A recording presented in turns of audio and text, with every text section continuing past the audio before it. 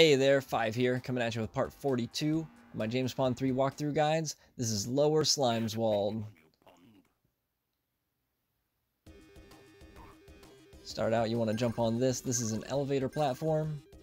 Ride it all the way to the top. I like to stay as far to the right edge as I can to keep away from those 49ers on the left. One hard hat rat in this little alcove. And one molder boulder you just want to run right past the molder boulder and then stay away from it until it settles.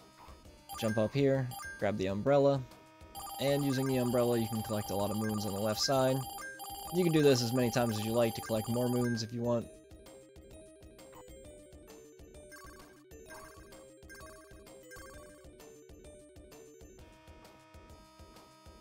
And then you want to ride the elevator all the way to the top. Jump over to the left and you'll see these spikes and it's kind of precarious, but you can jump onto that platform and jump over them, but I like to throw the umbrella up, jump over them like that, grab that invincibility fish, and use it to bypass these spikes, and grab that red teacup as you float down, float into that left alcove, float into the right alcove afterward to get the blue teacup,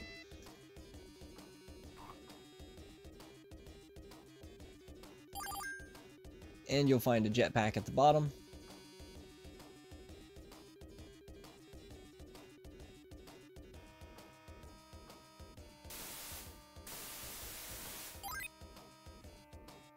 and you can just float right past that molder boulder. Come up here, there's some more jet fuel.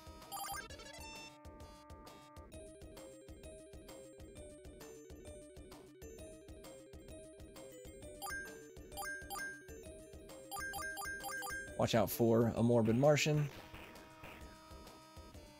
You'll see this little area that you can kind of float up into there. And you'll see another Morbid Martian in front, as well as two Molder Boulders.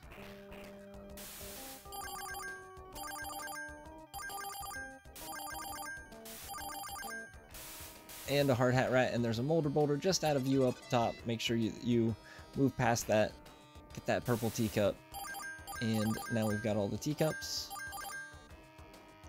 These two you can bypass the same way as the rest. Just go right past them as fast as you can.